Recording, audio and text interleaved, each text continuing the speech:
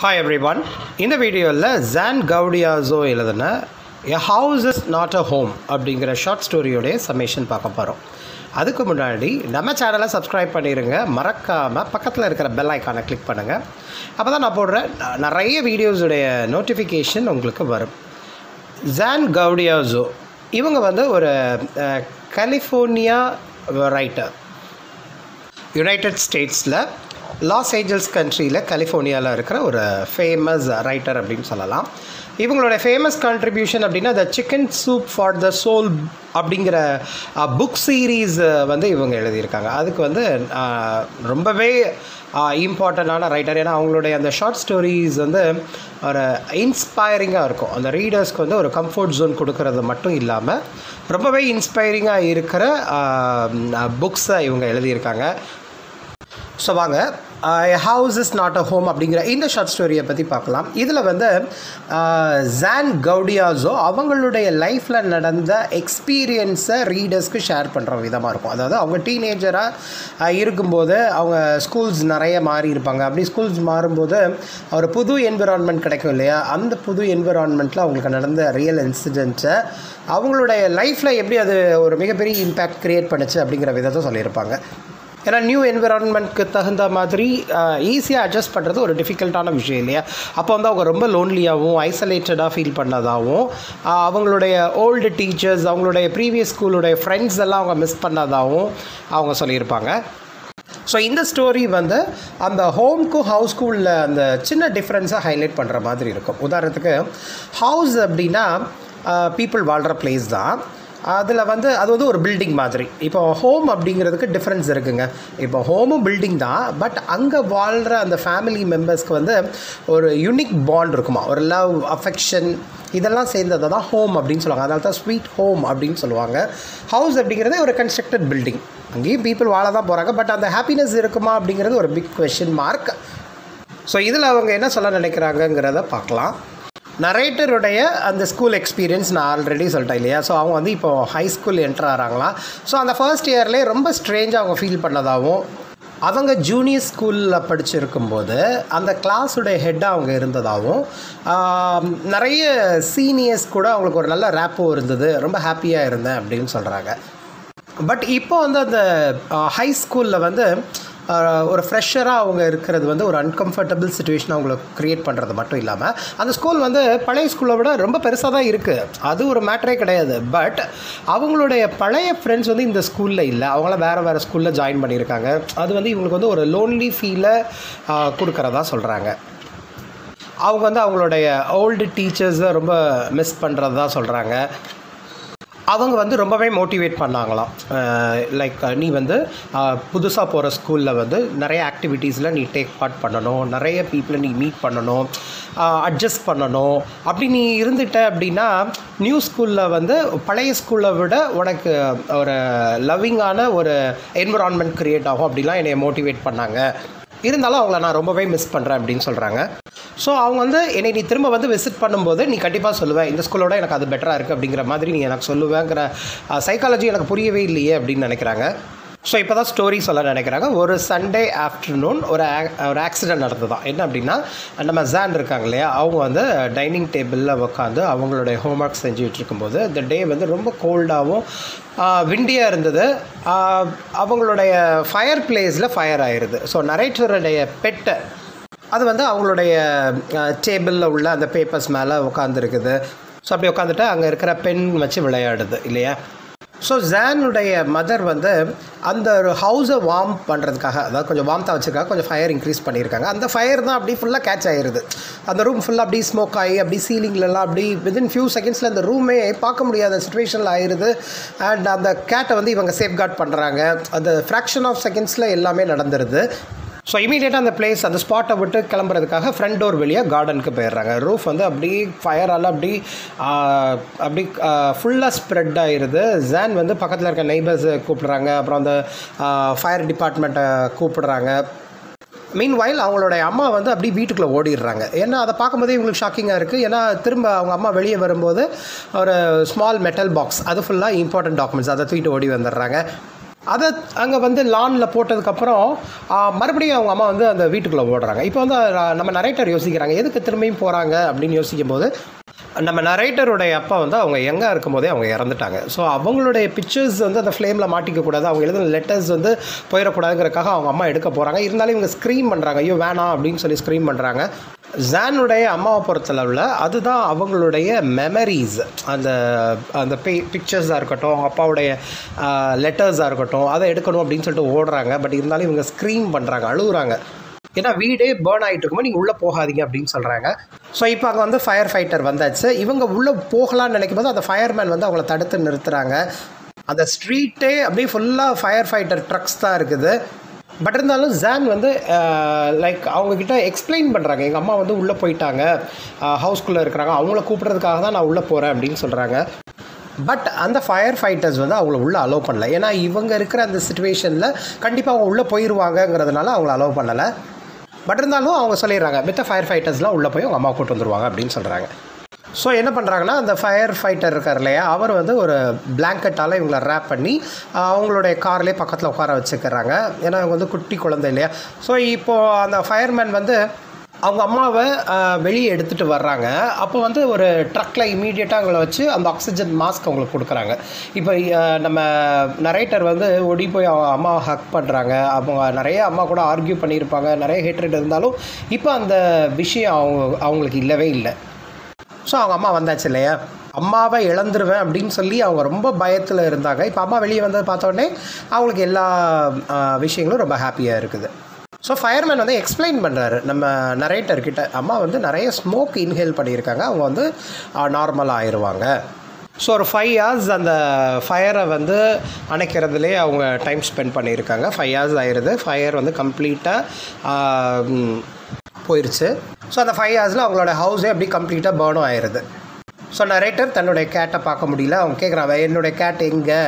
So இப்போ எல்லாமே அவங்களுக்கு வந்து ஒரு டிப்ரெஷனில் கொண்டு போய் விட்டுருது. என்ன அப்படின்னா புது ஸ்கூலு ஹவுஸ் வந்து ஃபயரில் அப்படி கொலாப்ஸ் ஆயிடுது அவங்க பாசமாக வச்சுருந்த அந்த கேட் கூட அவங்கக்கிட்ட இல்லை அப்படின்னு நினைக்கும் போது அப்படியே அழுகுறாங்க. அப்படியே டியர்ஸ் அவங்க கண்ணில் இருந்து வருது. மிகப்பெரிய சஃபரிங் அவங்களுக்கு. ஸோ இப்போ அந்த ஃபயர்மென்னும் இவங்களை வந்து பில்டிங்குள்ளே போக அலோவ் பண்ணலை. ஏன்னா ஃபைவ் ஹவர்ஸ் கண்ட்ரோ கண்டினியூஸாக அந்த ஃபயரை அவங்க கண்ட்ரோல் பண்ணாலும் uh, பட் இந்த ஜான் இருக்காங்களே நம்ம நரேட்டர் இவங்க வந்து அந்த uh, கேட்டுக்கு என்ன ஆச்சு அப்படிங்கிறதுல uh, திங்க் பண்ணிக்கிட்டு இருக்காங்க. வெதர் அது உயிரோடு இருக்கா இல்லையா அப்படின்னு திங்க் பண்ணிக்கிட்டு இருக்காங்க. ஸோ இப்போ வந்து அவங்க எந்த ஒரு பிலாங்கிங்கும் அவங்களுக்கு கிடையாது. அண்ட் uh, கொஞ்சம் பிளாங்கெட்ஸ் அந்த ஃபயர்மேன் கொடுத்துருக்காங்க. ஸோ இப்போ வந்து ஜான் வந்து அவங்களோட கிராண்ட் பேரண்ட்ஸ் ஹவுஸில் அந்த நைட்டை அவங்க ஸ்பெண்ட் பண்ணுறாங்க ஸோ இப்போ ஜான் வந்து நெக்ஸ்ட் டே ஸ்கூலுக்கு போயாச்சு. அது வந்து மண்டே ஸோ ஃபயரில் வந்து அவங்களோட ட்ரெஸ்ஸு அது கூட ஃபுல்லாக அழிஞ்சு போச்சு. அதுக்கப்புறம் ஏன்னா அவங்க சர்ச்சுக்கு சண்டேஸ் uh, போட்டு போகிற ட்ரெஸ் அது. அப்புறம் அவங்களுக்கு வந்து ஷூஸ் கிடையாது. ஏன்னா ஹோம்ஒர்க் பண்ணுறதுக்காக அந்த ஷூ போடாமல் தான் அவங்க உள்ளே உட்காந்துருந்தாங்க இல்லையா? ஏன்னா அதுவுமே அந்த வீட்டில் வந்து அந்த ஃபயரில் பேர்ன் ஆயிடுச்சு அப்படின்னும். இந்த ஷூ கூட ஜான் வந்து அவங்களுடைய ஆண் கிட்ட இருந்து டென்னிஸ்க்காக வா வாங்கியிருப்பாங்க. ஸோ இந்த ஒரு சுச்சுவேஷனுக்காகவே நம்ம ஜான் வந்து ஸ்கூலுக்கு போகிறத கம்ப்ளீட்டாக திங்க் பண்ணிக்கிட்டே இருப்பாங்க. ஏன்னா போகணுமா? ஒரு எம்பாரசிங் சுச்சுவேஷன் மாதிரி இருக்குது அவங்க ஸ்கூல் போகிறதுக்கு இன்ட்ரெஸ்ட் கிடையாது. பட் இருந்தாலும் அவங்க அம்மா வந்து ஃபோர்ஸ் பண்ணி அவங்கள ஸ்கூலுக்கு அனுப்பிடுவாங்க. ஏன்னா இப்போ அவங்கள்ட்ட பேக் கிடையாது புக்ஸ் கிடையாது ஹோம்ஒர்க் கிடையாது. அந்த ஹோம்ஒர்க் எழுதுகிற நோட்டு எல்லாமே அந்த ஃபயரில் கொலாப்ஸ் ஆயிடுச்சு இல்லையா? ஸோ ரொம்பவே அப்செட்டாக இருக்காங்க. அவங்க வந்து இறந்துடலாம். எதுக்கு உயிர் வாழணும் அப்படிங்கிற சுச்சுவேஷனில் அவங்க இருக்கிறாங்க. ஒரு ஜாம்பி மாதிரி அந்த ஸ்கூலை சுற்றி வந்ததாக அவங்க ரெக்கலெக்ட் பண்ணுறாங்க ஏன்னா ரொம்ப டல்லாக ஒரு லைஃபே இல்லாத பர்சன் மாதிரி. ஏன்னா அவங்களுடைய பிலாங்கிங்ஸ் எல்லாமே இப்போ இவங்ககிட்ட இல்லை இல்லையா? அது திங்ஸாக இருந்தாலும் சரி like old school old friends அவங்க ரொம்ப அஃபெக்ஷனேட்டாக இருந்த அந்த பெட்டை அந்த கேட் இருக்கு இல்லையா? அது கூட இப்போ இவங்ககிட்ட இல்லை அப்படின்னு நினைக்கும் போது ரொம்ப ஸ்ட்ரேஞ்சாக ஒரு ஃபீல் அவங்களுக்கு கிடைக்குதான். ஸோ இப்போ மறுபடியும் அவங்க வீட்டுக்கு வரும்போது அந்த பேர்ன் ஹவுஸ் அவங்க நோட்டீஸ் பண்ணுறாங்க அதில் வந்து எல்லாமே டேமேஜ் ஆகிடுச்சு கம்ப்ளீட்டாக அந்த ஃபயரில் வந்து எல்லாம் கொலாப்ஸ் மோர் மோரோவர் அந்த ஃபயர் அணைக்கிறதுக்காக அவங்க வாட்டர் யூஸ் பண்ணியிருப்பாங்களே அதில் கூட சில விஷயங்கள் டேமேஜ் ஆகிடுச்சு பட் இவங்க சேஃபாக இருக்கிற சேஃப் அப்படின்னு நினைக்கிற விஷயம் என்ன அப்படின்னா ரொம்ப அஃபெக்ஷனேட்டாக இருக்கிற அவங்களுடைய மதர் அவங்க காப்பாற்றப்பட்டிருக்காங்க அப்போ அவங்க காப்பாற்றின சில பேப்பர்ஸ் ஃபோட்டோகிராஃப்ஸ் அப்புறம் அவங்களுடைய சில பர்சனல் திங்ஸ் அதெல்லாமே அவங்க அம்மாவால் சேவ் பண்ணப்பட்ட பர்சனல் ஐட்டம்ஸ் அதனால் கொஞ்சம் ரிலாக்ஸ்டாக இருக்கிறாங்க. பட் இருந்தாலும் இவங்களுடைய கேட் கூட மிஸ் ஆயிடுச்சு அப்படின்னு நினச்சி அவங்க ரொம்ப ஃபீல் பண்ணுறாங்க ஸோ ஒரு சர்டைன் பாயிண்டில் தங்களுடைய லைஃப் அவங்க ரீபில்ட் பண்ணணும் அப்படிங்கிறதுல கான்சென்ட்ரேட் பண்ணுறாங்க ஏன்னா அவங்களுக்கு வாழ்கிறதுக்கு ஒரு பிளேஸ் அவங்கள வேர் பண்ணுறதுக்கு கிளாத்ஸ்லாம் வேணும் இல்லையா? ஸோ அவங்களோட கிராண்ட் பேரண்ட்ஸ் கிட்ட இருந்து சில மணி பாரோ பண்ணிக்கலாம்.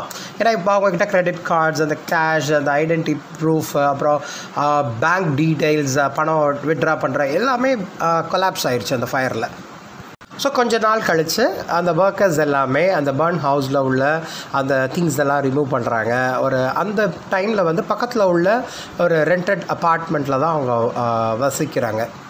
ஸோ இப்போ என்ன திங்க் பண்ணுறாங்கன்னா அந்த ஓல்ட் ஹவுஸ் ஓல்ட் ஹவுஸை விசிட் பண்ணும்போது அங்கே சில ஒர்க்கர்ஸ் ஒர்க் பண்ணுறத ஜான் பார்க்குறாங்க அண்ட் uh, நம்ம நரேட்டர் வந்து அங்கே கேட் இருக்கா அப்படின்னு சொல்லி தேடி பார்க்குறாங்க பட் அவங்களுக்கு தெரியுது அங்கே இல்லை அப்படின்னோடனே அதையும் நான் இழந்துட்டேன் அதுவும் இறந்துருக்கும் அந்த இதில் அப்படின்னு அவங்க திங்க் பண்ணிக்கிறாங்க. ஸோ இவங்களுக்கு தெரியுது uh, இந்த பேட் நியூஸ் வந்து எல்லாருக்கும் பாஸ் ஆகிருக்கும்னு நினைக்கிறேன். என்னுடைய டீச்சர்ஸ் கூட என்னுடைய ஜேட் ஸ்டோரியை தெரிஞ்சிருப்பாங்க அப்படின்னு நினச்சிட்டு அவங்க ரொம்பவே எம்பாரசிங்காக ஃபீல் பண்ணுறாங்க ரொம்ப கில்ட்டியாக ஃபீல் பண்ணுறாங்க ஏன்னா இந்த மாதிரி ஒரு ராங் ரீசனுக்காக எனக்கு அட்டென்ஷன் தேவையில்லை. இந்த மாதிரி ஒரு அட்டென்ஷன் தேவையா அப்படின்னு சொல்லி திங்க் பண்ணுறாங்க ஸோ நெக்ஸ்ட் டே ஸ்கூலே அன்யூஷுவலாக இருக்குது ஒரு வினோதமாக நடக்கிற மாதிரி உங்களுக்கு தெரியுது. ஏன்னா நம்ம நரேட்டர் வந்து ஜிம் கிளாஸ்க்கு போகிறதுக்கு ரெடி ஆகும்போது எல்லா ஸ்டூடெண்ட்ஸும் அவங்கள சுற்றி அப்படி கேதர் ஆகிட்டு ரொம்ப டிஃப்ரெண்ட்டாகவே நடக்கிற மாதிரி நம்ம நரேட்டர் உணர்றாங்க. பட் இவங்களுக்கே தெரியுது. யூஸ்வலாக நடக்கிறத விட இன்றைக்கி கொஞ்சம் அன்யூஷுவலாகவே இருக்குது ஆனால் இவங்க ரியாக்ட் பண்ணாமல் அப்படியே அந்த சுச்சுவேஷனில் இருக்கிறாங்க. பட் ஸ்டூடெண்ட்ஸ் வந்து அவங்க நம்ம நரேட்டரை வந்து ஜிம்குள்ளே அப்படியே புஷ் பண்ணுறாங்க அப்போது அவங்களுக்கு தெரியுது ஏதோ சம்திங் டிஃப்ரெண்ட்டாக நடக்க போகுது அப்படின்னு தெரியும் போதே அந்த டேபிள் ஃபுல்லாகவே நிறைய ஆர்டிகல்ஸ் இருக்கான். Like note books clothes stationery items இதெல்லாம் இருக்குது இதை பார்க்கும்போது அவங்களுக்கு என்ன தோணுதா இது வந்து கிறிஸ்மஸ் டைமில் தானே இந்த மாதிரி நிறைய கிஃப்ட்ஸாக இருக்கும் அப்படின்னு பார்த்து ரொம்ப எமோஷ்னலாக ஆகிறாங்க. ஸோ அவங்களுக்கு வந்து நிறைய ஃப்ரெண்ட்ஸ் அந்த இடத்துல உருவாகிறாங்க. அவங்க எல்லாமே நம்ம ஜேனை வந்து அவங்களோட வீட்டுக்கு கூப்பிடுறாங்க. ஸோ அந்த அஃபெக்ஷனான வார்த்தைகளில் ரொம்பவே எமோஷ்னல் ஆயிடுறாங்க நமக்கு நியூ ஃப்ரெண்ட்ஸ் கிடச்சிருக்காங்க. ஸோ இதுதான் அந்த ஸ்கூலில் அதாவது நியூ ஸ்கூலில் uh, வந்து uh, புது விஷயம் ஃபர்ஸ்ட் டைம் அவங்களுக்கு நடந்திருக்குன்னு நினைக்கும் போது ரொம்பவே ஹாப்பியாக ஃபீல் பண்ணுறாங்க ஸோ அந்த டே அவங்களுக்கு ஒரு மெமரபிள் தான். ஏன்னா நிறைய நியூ ஃப்ரெண்ட்ஸ் அவங்களுக்கு கிடச்சிருக்காங்க இல்லையா? அதை வந்து மறக்கவே முடியாத நாள் அப்படின்னு சொல்கிறாங்க ஸோ ஒரு ஒன் மந்த் கழித்து ஜான் வந்து அவங்களுடைய ஹவுஸ்க்கு விசிட் ஆகிறாங்க அப்போ வந்து அந்த ஹவுஸ் வந்து uh, புதுசாக கன்ஸ்ட்ரக்ட் பண்ணப்பட்டுருக்கு ஸோ இந்த டைம் வந்து அவங்க டிஃப்ரெண்ட் டிஃப்ரெண்ட்டாக இருக்கிறதா உணர்றாங்க. ஏன்னா அவங்களுக்கு இப்போ வந்து நியூ ஃப்ரெண்ட்ஸ் ஒரு டூ நியூ ஃப்ரெண்ட்ஸ் அந்த புது ஸ்கூல்லேருந்து அவங்களுக்கு கிடச்சிருக்காங்க. ஸோ அந்த ஃபயர் கூட ஒரு நல்ல விஷயத்தில் கொண்டு போய் விட்டுருக்குன்னு சொல்கிறாங்க ஏன்னா அவங்க வந்து நியூ ஸ்கூலில் ஜாயின் பண்ணும்போது எனக்கு யாருமே இல்லை அப்படின்னு ஒரு இன்செக்யூரிட்டி ஃபீலிங் அவங்களுக்கு இருந்தது இல்லையா? அது வந்து இப்போ வந்து கம்ப்ளீட்டாக ஸ்டாப் ஆயிடுச்சு ஏன்னா அவங்களுக்கு இன்னும் சில ஃப்ரெண்ட்ஸ் அவங்கள சுற்றி இருக்காங்க அப்படின்னும். எப்படி அவங்களுடைய ஹவுஸ் வந்து ஒரு பெரிய ஃபயருக்கு அப்புறம் ரீபில்ட் பண்ணப்படுதோ அதே மாதிரி தன்னுடைய லைஃப்பில் கூட இந்த மொமெண்ட் வந்து ரீபில்ட் ஆயிருக்கு அப்படின்னு சொல்லி ஹாப்பியாக ஃபீல் பண்ணுறாங்க ஸோ அந்த பிளேஸில் உள்ள பேமெண்ட்டில் உட்காந்துட்டு தன் நரேட்டருடைய நியூ பெட்ரூமுடைய பிளான் பற்றி திங்க் பண்ணிக்கிட்டு இருக்காங்க. ஸோ அப்போ ஒருத்தங்க வந்து ஜான் கிட்ட வந்து அவங்களோட பின்னாடியிலேருந்து அவங்கக்கிட்ட வந்து உன்னுடைய கேட் வந்து மிஸ் ஆயிருச்சோ இதுதான் அந்த கேட்டா நீ வச்சிருந்த கேட்டா அப்படின்னு சொல்லி கேட்குறாங்க ஸோ ஜான்க்கு ரொம்பவே ஹாப்பியாகிருது தன்னுடைய பெட்டை திரும்பி வந்துருச்சு அப்படின்னு நினச்சி ரொம்ப அஃபெக்ஷனேட்டாக அப்படியே அழுகுறாங்க. ஸோ தன்னுடைய மாஸ்டரை பார்த்து அந்த கேட்டுமே ரொம்ப ஹாப்பியாக ஒரு சவுண்டு கொடுக்குது. ஸோ ரொம்ப ஹாப்பியாக தன்னுடைய ஹாப்பினஸை ஷேர் பண்ணி அப்படியே ஜம்ப் பண்ணி அந்த அந்த ஃப்ரெண்ட்ஸும் விளையாடுறாங்க அந்த கேட்டும் விளையாடுது. ஸோ அந்த ஃபயர்னால தான் அந்த ஜானுடைய பெட் வந்து ரொம்ப ஸ்ட்ரேஞ்சாக பிஹேவ் பண்ணி ஒரு ஒன் மைல் தூரம் ஓடிருச்சான் என்னதான் அந்த கேட்டுடைய காலரில் வந்து நம்ம மாஸ்டருடைய ஃபோன் நம்பர் எழுதியிருந்தாலும் அந்த வீட்டுடைய மாஸ்டர் அவங்க அம்மாவுடைய ஃபோன் நம்பர் எழுதியிருந்தாலும் அது வந்து அந்த ஃபயரில் வந்து அந்த ஃபோனு டிஸ்ட்ராய் ஆயிடுச்சு இல்லையா? அதனால தான் அந்த லேடியால் காண்டாக்ட் பண்ண முடியல அப்படின்னும். ரொம்ப மிகப்பெரிய எஃபோர்ட்னால தான் நான் வந்து அட்ரஸை ட்ரேஸ் அவுட் பண்ணி ரீச் பண்ணியிருக்கேன் அப்படின்னு சொல்கிறாங்க ஏன்னா இந்த கேட்டுமே சேடாக இருந்ததுனால நான் வந்து கண்டிப்பாக இதை ரீச் பண்ணிடணும்னு நான் ஒரு ரொம்ப ஸ்ட்ராங்காக இருந்தேன் அப்படின்னு சொல்கிறாங்க ஸோ ஜான் வந்து இப்போ வந்து அவங்களோட கேட் கூட அவங்களோட ஃப்ரெண்ட்ஸ் கூட இருந்தனால அவங்களோட சேட்னஸ் எல்லாம் போயிடுச்சு. ஏன்னா ரொம்ப ஹாப்பியாக இருக்காங்க. அவங்களுக்கு நியூ லைஃப் கிடைச்ச மாதிரி ரொம்ப தேங்க்ஃபுல்லாக இருக்காங்க. ஏன்னா அவங்களுக்கு இப்போ நியூ ஃப்ரெண்ட்ஸ் அண்ட் ஒரு ஒரு விமன் வந்து அந்த கேட்டை ரிட்டர்ன் பண்ணியிருக்காங்க இல்லையா? அவங்களோட ஃபேவரட் பெட் இதுவே அவங்களுக்கு வந்து ஒரு நியூ லைஃப் கிடைச்ச மாதிரி நம்ம ஜான் வந்து ரியலைஸ் பண்ணுறாங்க ஸோ இந்த story house is not a home அப்படிங்கிறது uh, எப்பயுமே ஹியூமன் பீயிங் வந்து ஒரு நம்ம லைஃப்பில் நடக்கிற சேலஞ்சஸை ஃபேஸ் பண்ணுறதுக்கு நம்ம ரொம்ப ரெடியாக இருக்கணுமா?